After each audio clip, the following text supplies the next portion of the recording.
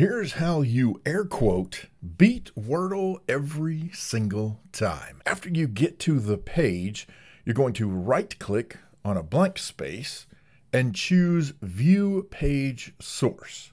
Now you're going to see a whole bunch of code. Don't worry about that. Just scroll to the bottom of the page. Near the bottom, you will find a line that reads main.blah.blah.blah.js and click on that link. A new page will open up with more code. If you scroll down some, you will see a whole slew of words all in quotation marks. So you want to hold down your control key on your keyboard and press F. Then type in the last word you remember.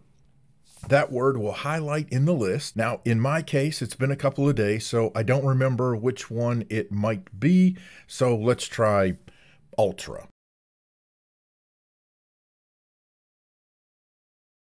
Okay, so Ultra was not it at all. All right. Looking back at the list, I do remember playing Ulcer. So it's either Robin or Cynic, probably. So if I go back to the puzzle, I realize it can't be Robin because R was not in the puzzle, so it's most likely Cynic. And there we go. Now I can go back to the word list.